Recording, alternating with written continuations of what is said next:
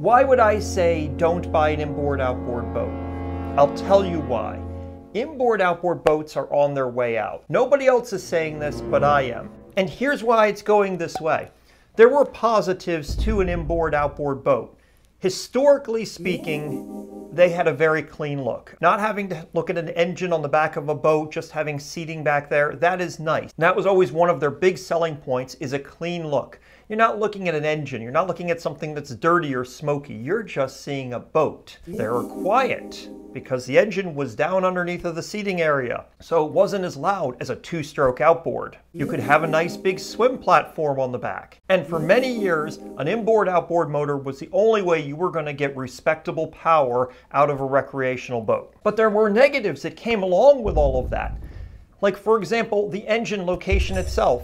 Being located underneath the rear seating area makes it really hard to work on. Just checking the oil is a problem with these kinds of engines because you have to open up several compartments to be able to get access to the dipstick. Any kind of maintenance or whatever is tricky. The outdrive on these is always submerged, which for some people, no big deal. However, if you keep your boat in a marina, that outdrive always being submerged means all of that can be subject to growth of barnacles and other kinds of sea life because of the fact that your outdrive is always underwater. There's no way to tilt it up out of the water. Fire risk.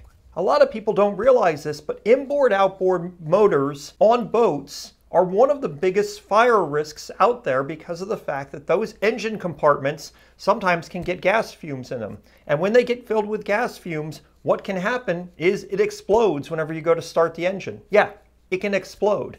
And that's why all inboard outboard boats are equipped with fans, and you have to turn these blower fans on before you start the engine, and you're supposed to have them running whenever you're running at low speeds. I know lots of people will say they never bother, but you should be doing it so that your boat doesn't blow up.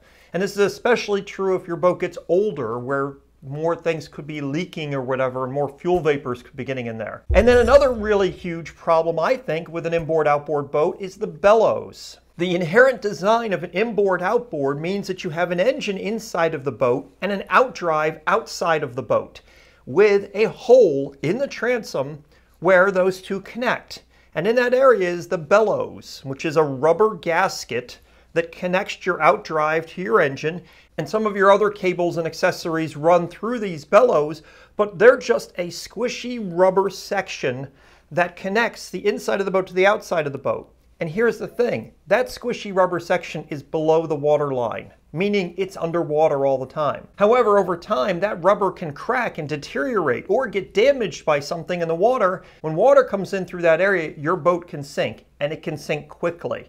The bellows is a weak link with an inboard outboard motor. Back in the 1970s, 80s, and even into the 90s, when a lot of people were buying inboard outboard boats, outboard motors were loud, they were smoky because they were two stroke, and they weren't very powerful. But all of that has changed in the last 15 years or so. Outboard motors are now very good. They are four stroke, they're efficient, they're fast, they're powerful, and they're very reliable. And you see more and more outboard motors on boats that used to just be inboard outboards. For example, here's Sea Ray.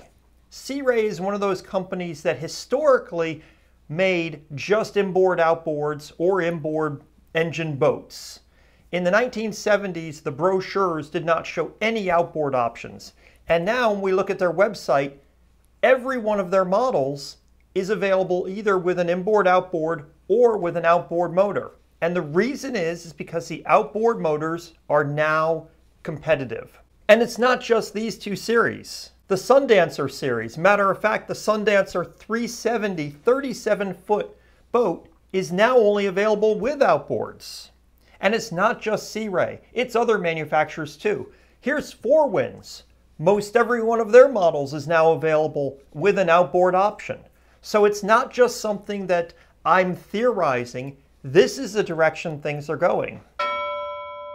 Now here's what's interesting it has pretty much all of the same positives as the inboard outboard. A clean look. And here's why I say it has a clean look, because these engine covers are styled nicely. A lot of them are color matched to the boat. So they don't look really bad. They don't look very ugly like some old style engine hanging off the back of a boat. They're quiet. Matter of fact, these new outboard engines are quieter than an inboard outboard engine. Other boats in my marina that have an outboard, their engines are much quieter than my inboard outboard engine, which I think is pretty quiet, but not compared to these newer outboard motors. The swim platform. Yes, they still have a swim platform. Sure, it's not as big as it would be if you had an inboard outboard where it's all the way across, but there is places beside these engines to be able to still get down into the water and sit on a platform. And another important thing is the power. These modern outboard engines accelerate faster than an inboard outboard and have higher top end speed. I've read and watched several videos where they do comparisons of these things and they apparently are faster and more powerful than their inboard outboard counterparts. The outboard engines also don't share any of the negatives from the inboard outboard. The engine location issue from being underneath the seats, that's eliminated. The engine's now hanging off the back of the boat.